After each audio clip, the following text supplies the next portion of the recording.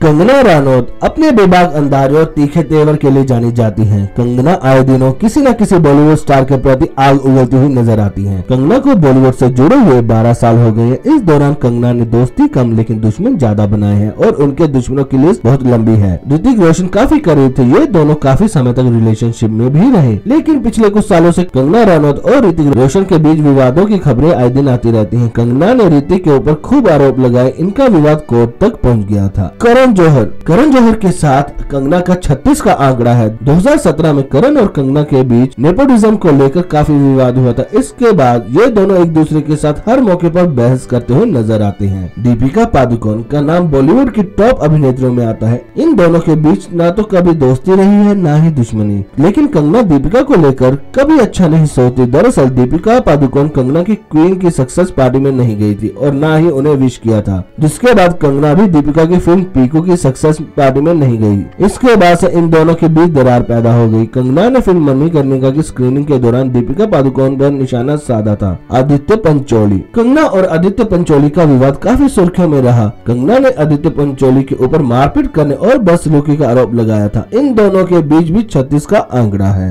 Hi everyone क्या आपने Yo Yo TV app download किया? नहीं?